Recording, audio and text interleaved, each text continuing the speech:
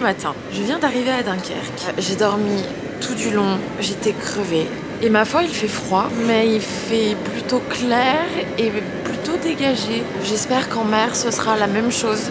Et normalement, je devrais rejoindre Florian dans quelques minutes.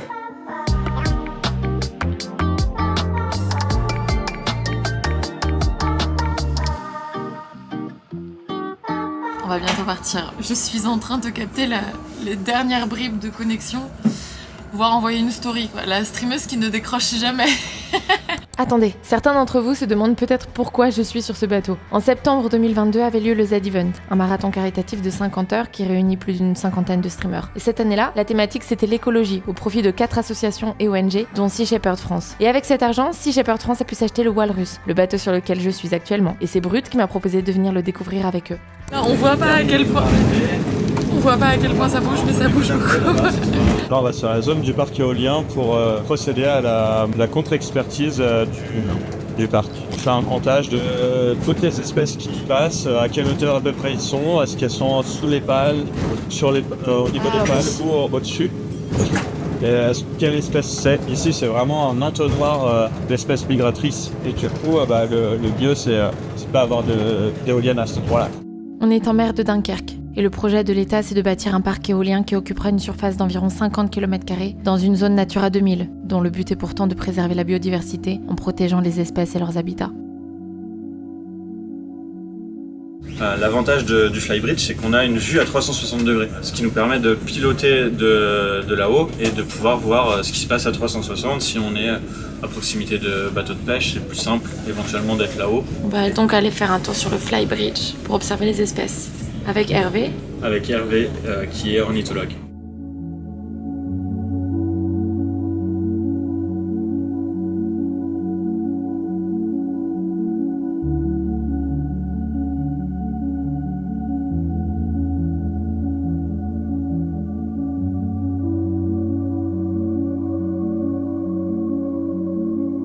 Par exemple, le goéland marin là, qui passe, lui, il est dans les hauteurs de pales. Quand, on fait les comptages, on note hauteur de pales, s'il passera de l'eau, s'il se nourrissent, etc. Donc cet oiseau-là, s'il y a des éoliennes, il, il se fait hacher. En Allemagne, ils se sont rendus compte sur les implantations de parcs éoliens que le pingouin torda, il disparaît littéralement de la zone. Pour d'autres espèces, c'est moins impactant, mais pour cette espèce-là, c'est typiquement, c'est radical. Quoi. On ne sait pas encore si c'est lié à des vibrations, à des perturbations. donc C'est pas très documenté pour l'instant. C'est pour ça qu'on essaie de savoir. C'est un endroit qui est très très fréquenté, donc on se dit, vu que c'est tous des animaux au- au-delà des oiseaux et de la migration proprement dite, on essaie de comprendre ce qui se passe aussi euh, après installation, la vibration, rien que le chantier c'est pharaonique. Nous on essaie de comprendre au niveau du vivant, au niveau de- mammifères marins, au niveau des oiseaux, de la migration, de la présence, de, de l'usage qu'en font les, les espèces.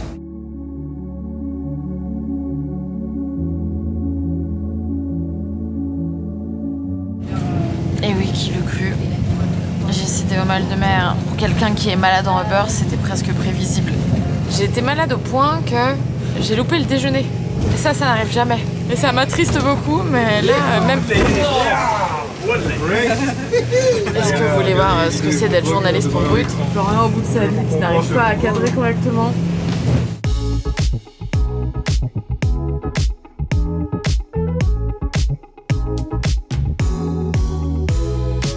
C'est un truc de fou. Ah, moi, ça me. C'est ouf, vous voyez ça tout le temps. Moi, c'est c'est incroyable de voir ce navire. Quelle dinguerie, les gars. Quelle dinguerie. Il est où? Ah oui, il est là, il est de ce côté.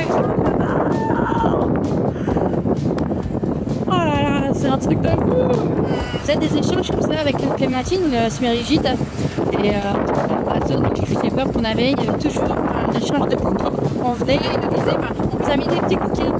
On attend que le petit bateau vienne nous chercher pour pouvoir faire le transfert sur le catwalk. C'est comme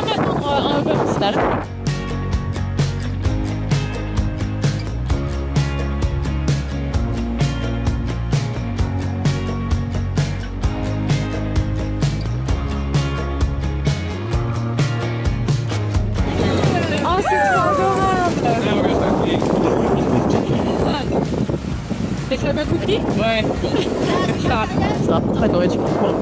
C'est la T'as pris la flotte Une vague. La petite bague, ouais. Petite bague.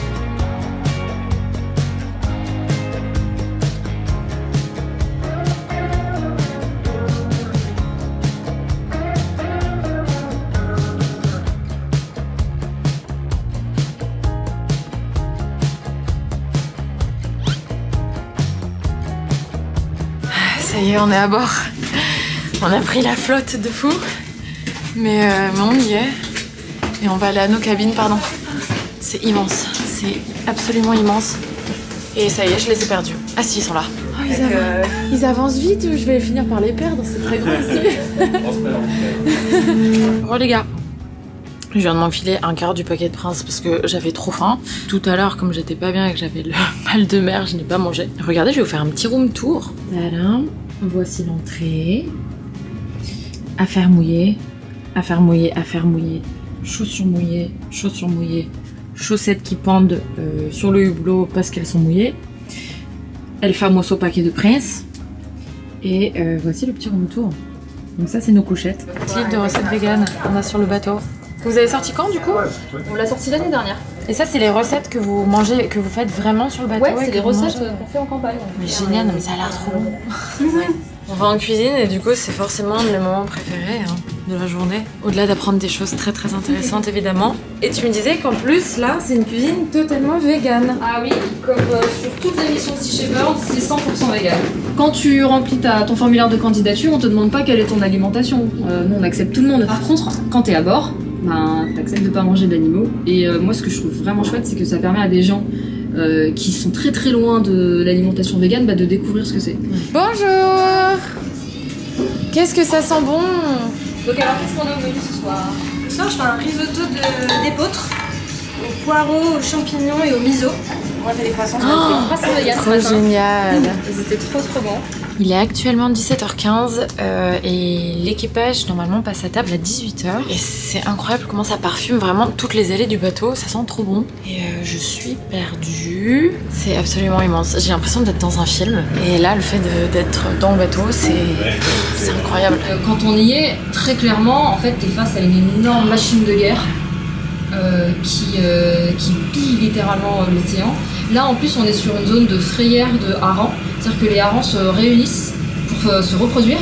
Et donc, c'est plus facile de les attraper à ce moment-là. C'est que dans un filet comme ça, t'as l'équivalent de la nourriture de 30 000 phoques, la quantité journalière pour 30 000 phoques. C'est colossal, sachant que ce navire, il pêche plusieurs fois par jour et qu'il n'est pas le seul, hein. on en a compté jusqu'à 9. On a fait une vidéo qui montre les images du Margerie, c'est le deuxième plus grand chalutier au monde. On a pris en flagrant délit l'année dernière, il avait rejeté euh, 100 000 poissons morts dans, le golfe de Gascogne. Ils ont relâché ça parce qu'en fait, euh, on les soupçonne d'avoir fait du upgrading. Le upgrading, c'est en fait quand euh, euh, t'as un navire qui pêche énormément de poissons, mais euh, un peu plus loin, il trouve des poissons à valeur commerciale plus, plus intéressante, où il veut faire de la place dans ses cales, et du coup, il relâche euh, tout ce qu'il a pêché auparavant. Et tout est trié, congelé, voilà. Après, ils congèlent c'est- des barquettes de 28 kg, je crois 30 kg. Cellophané, euh, mise en bois, tout est absolument fait sur place. C'est vraiment une usine. euh, Concrètement, qu'est-ce que, qu'est-ce que le, bah, le public peut faire pour euh, vous aider, vous, pour Eh ben- empêcher euh, ça de se produire? En fait, nous, ce qu'on veut aussi, c'est que les gens s'interrogent sur euh, leur consommation de poissons. Et même comme tu disais, au-delà de ça, même leur consommation de viande, parce Oui. que leur consommation que de viande lié. affecte. euh, Exactement. Et sur les actions que vous menez là, notamment Ocean Killer, etc., si vous n'étiez pas là, euh, quelles sont les autres associations, ONG qui, qui luttent, tu vois, en mer euh, comme vous euh En mer, comme nous, il n'y a personne. En fait, tu as, plusieurs associations qui font des choses, euh, des recours juridiques, euh, du lobbying, euh, de la communication, etc. Nous, on fait tout ça aussi, on fait énormément de recours juridiques, mais pour nous, c'est un peu la cerise sur le gâteau. Parce que le gâteau, c'est euh, vraiment d'être sur le terrain. D'être sur le terrain. Parce que c'est là que tu ramènes les images, c'est là que tu montres preuve à l'appui, par exemple sur les captures de dauphins, que ben, tu as des bateaux de 12 mètres qui capturent des dauphins. Tu vois, ça si t'as pas les images pour le prouver. Et ça, le terrain, il n'y a, que nous qui y sommes et c'est ce qui vraiment ce qui coûte le plus cher. Et ce qui demande aussi le plus de- d'efforts et d'investissement. Parce que voilà, tu, tu pars en mer dans des conditions difficiles, tu comptes pas tes heures, c'est jour et nuit. Et comme tu dis, au final, c'est l'opinion publique après qu'il faut changer. Et sans les images et sans les preuves à l'appui, euh, c'est compliqué. Parce que ce qui choque les gens aujourd'hui, c'est les images. Bah, il faut que ce soit concret, il faut que ce soit visuel. Euh, mais bon, pour ça, euh, bah, pour ça, faut y aller, hein, euh, de nuit, en mer, euh, aller coller au cul des chalutiers usines. Ça fait combien de temps que tu es chez Shepherd Ben, moi j'ai rencontré Paul en 2005 à Paris et, euh, et je suis partie en mission euh, ben, en 2005. Et en 2006, euh, j'ai créé l'antenne française qui n'existait pas en France. Donc là, Ça bah, fait- ça va faire 19 ans en janvier.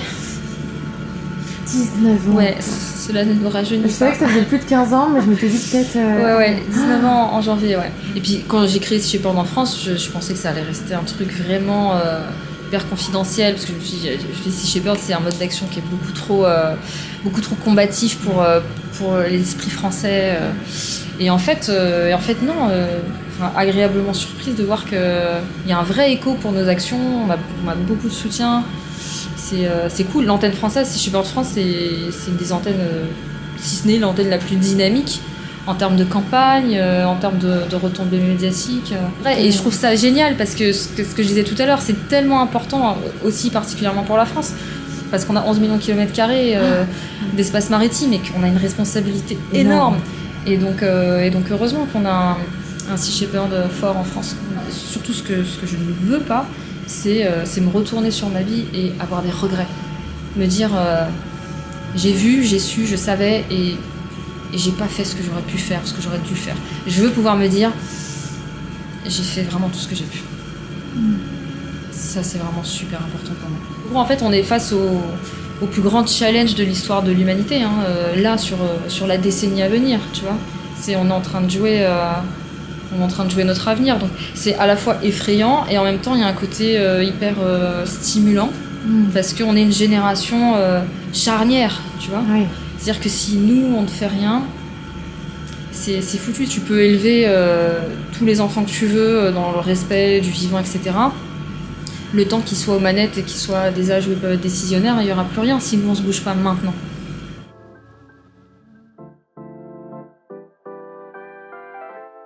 C'est le moment de manger. Regardez le buffet, regardez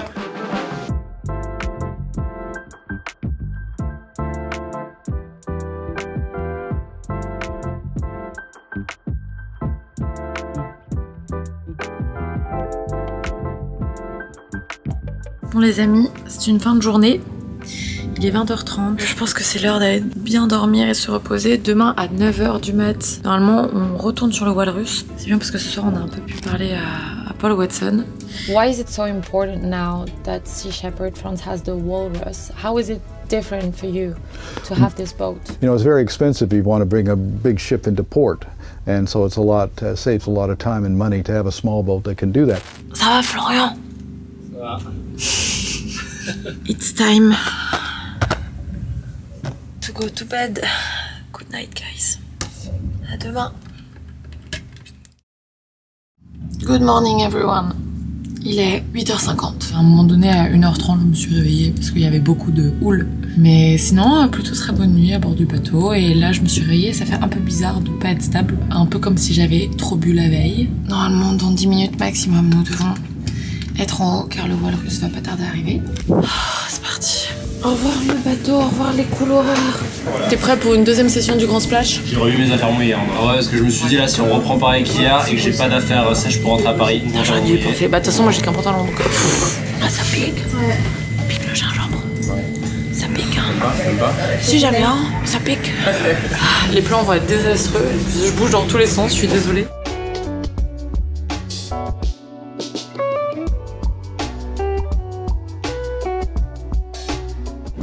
Je mets ça dans. Tout va bien. Ouais.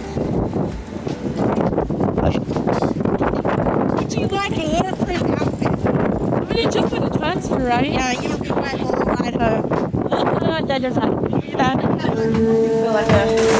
Oh, t'inquiète, t'es pas obligé de. Oh, Je suis le nouveau caméraman. ça c'est le cheat code en vrai. C'est trop bien. Bah oui, quand on fait nos sorties en mer, on a ça. Tu l'as chopé où?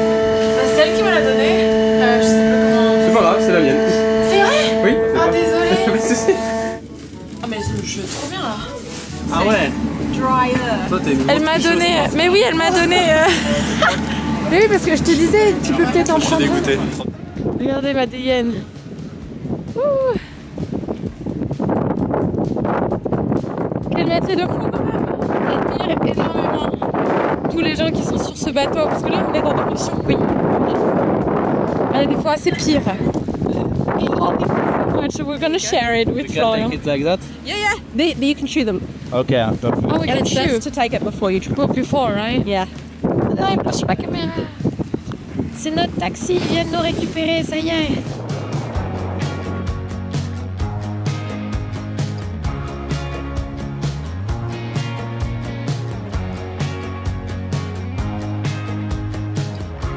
On est sur le Walrus, c'est bon. C'est euh, un poil plus euh, shaky. Florian est dehors, je crois qu'il se sent pas bien et qu'il voulait vomir. J'espère que... Ah. J'espère que ça va aller. Disons qu'il faut pas avoir une faible constitution, parce qu'au niveau des cervicales et tout, des fois, c'est... ça tasse un peu Ça tasse un petit peu, ouais. Voilà. Non, ouais, je fais prendre l'air, ça va. Moi, je faisais ça quand j'étais petite dans les attractions. Tu fermes les yeux et tu faut pas que tu, sois- tu résistes, tu te laisses aller en fermant les yeux. Et, et moi, ça marche bien. You know the three phases of seasickness? Non.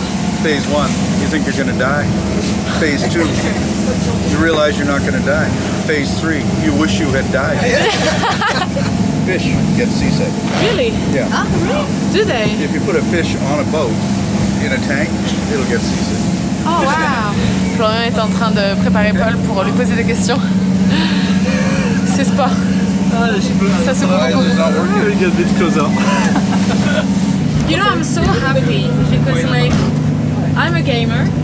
So I play video games all day and I make music as well. And last year we had this event. We were 50 streamers streaming for 72 hours, raising money. Remember Lamia came saying, we're gonna use this money to buy a boat. But being in this boat, financed by all these people who are fond of video games and stuff, it's crazy. It's really amazing. Ça y est, on arrive au port de Dunkerque.